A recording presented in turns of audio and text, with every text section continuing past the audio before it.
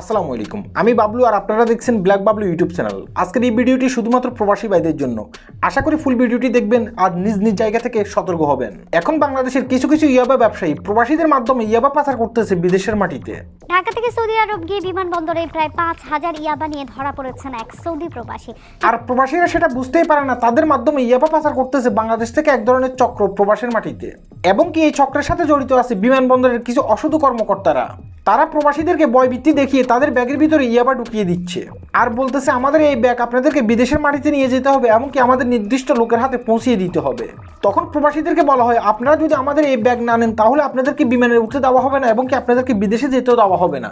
আর প্রবাসীরা তখন ভয় পেয়ে যায়, তারা কোনো কথা বলে না। তখন জোর করে তাদের ব্যাগের ভিতরে ইয়াবা ঢুকিয়ে দেয়। বিমানবন্দরে থাকা এক ধরনের অসাধু কর্মকর্তা এবং কি কর্মচারীরা। তেমনি এক ঘটনার চক্রে ফেসে গেছে আবুল বাসার নামের আমাদের এক সৌদি প্রবাসী। গেলই বারো মাস তিনি সৌদি আরবে যান আর সৌদি আরবে নামার সাথে সাথে সৌদি আরবের বিমানবন্দরের পুলিশ তাকে গ্রেপ্তার করে। আর গ্রেপ্তার করার পরে তার ব্যাগ থেকে পাঁচ হাজার পিস ইয়াবা উদ্ধার করেন সৌদি আরব পুলিশ। তারপরে দীর্ঘ একুশ দিন পরে তার ওয়াইফের কাছে সে ফোন করে বলে, সে সৌদি আরব পুলিশের হাতে গ্রেপ্তার আছে। তার ওয়াইফ যখন তাকে প্রশ্ন করে, আপনি লিগেল বিষয় নিয়ে সৌদি আরবে গেছেন, তারপরেও কেন সৌদি আরব পুলিশ আপনাকে গ্রেপ্তার করেছে? তখন তিনি তার ওয়াইফকে বলেন, বিমানবন্দরের একজন কর্মকর্তা আমার ব্যাগের ভিতরে জোর করে একটা আচারের কোটা ঢুকিয়ে দিয়েছেন। আমি তাকে বারবার বলছি, আমি এটা নিতে পারব না। তিনি জোর করে আমার ব্যাগের ভিতরে এটা ঢুকিয়ে দেন। তিনি আমাকে হুমকি দেন, আমি যদি এটা না নিই, তাহলে আমাকে বিমানে উঠতে দেওয়া হবে না। শুধুমাত্র এই আসারের কোটাটা বিমানবন্দরের বাইরে থাকা, তার বাইরের কাছে দিয়ে দেওয়ার কথা বলেছিলেন তিনি। কিন্তু এই আসারের কোটাটার ভিতরে যে ইয়াবা আছে, সেটা আমি কখনো জানতাম না। আর সৌদি আরবে যাওয়ার সাথে সাথে সৌদি আরবের বিমানবন্দরের আন পুলিশ আমাকে গ্রেপ্তার করে। পাঁচ হাজার পিস ইয়াবা সহকারে আমি কিছুই বুঝতে পারিনি। তারপর তার স্ত্রী বিমানবন্দরে এসে বিমানবন্দরের আন পুলিশের কাছে সবকিছু খুলে বলেন। দুই দিনের পর ফোন দিয়ে উনি কাইন্দা দিছে রাত্রে। পরে আমি বললাম যে, কি হয়েছে তোমার? পরে কয় যে এই ঘটনা, নূর মোহাম্মদ নামে এক লোক আমাকে এয়ারপোর্ট থেকে পার্সেল দিছে, ওই পার্সেল নিয়ে আমি আটক হয়েছি। তখন বিমানবন্দরের আন পুলিশ এই বিষয়টা নিয়ে তদন্তে নামেন, এই মহিলা যা বলেছেন তা সত্য কিনা? পরবর্তীতে দেখা গেছে, এই মহিলা যা বলেছেন তাই সত্য। তার হাজবেন্ডকে ফাঁসিয়ে দিয়েছে বিমানবন্দরের পরিচ্ছন্ন একজন কর্মী। সিসিটিভিতে দেখা গেছে, তার হাজবেন্ড এটা নিতে অনিচ্ছুক প্রকাশ করলেও তার হাজবেন্ডকে জোর করে এটা ঢুকিয়ে দেওয়া হয়েছে তার ব্যাগের ভিতরে। পরবর্তীতে বিমানবন্দর থেকে গ্রেপ্তার করা হয় এই পরিচ্ছন্ন কর্মীকে।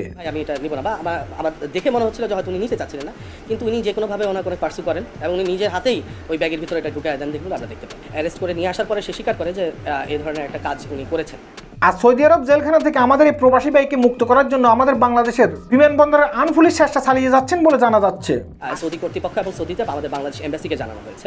আমাদের যে যাত্রী ওখানে আছেন আবুল বাসার ওনাকে আইনগত যে সহযোগিতা দেওয়া যায় সেই সহযোগিতা দেওয়ার ব্যাপারে ওনারা কাজ করছেন বলে আমরা জানি।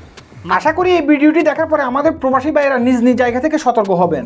কেউ যদি বিমানবন্দরে এই ধরনের পার্সেল আপনার কাছে দিতে চায় আশা করি আপনি না নেওয়ার জন্য আনিচ্ছুক প্রকাশ করবেন। তারপরেও সে যদি আপনাকে জোর করে এটা দিতে চায়, তাহলে আপনি বিমানবন্দরের ঊর্ধ্বতম কর্মকর্তাদের সাথে যোগাযোগ করবেন। মনে রাখবেন সবসময় বাংলাদেশ বিমানবন্দরে কেউ যদি আপনার সাথে এই ধরনের পোস্ট করতে চায় কিংবা এই ধরনের ভয় দেখাতে চায় আপনাকে, সবসময় বাংলাদেশ বিমানবন্দরের ভিতরে যে সিসিটিভি আছে, সেই সিসিটিভির সামনে যাই এদের সাথে কথা বলার চেষ্টা করবেন।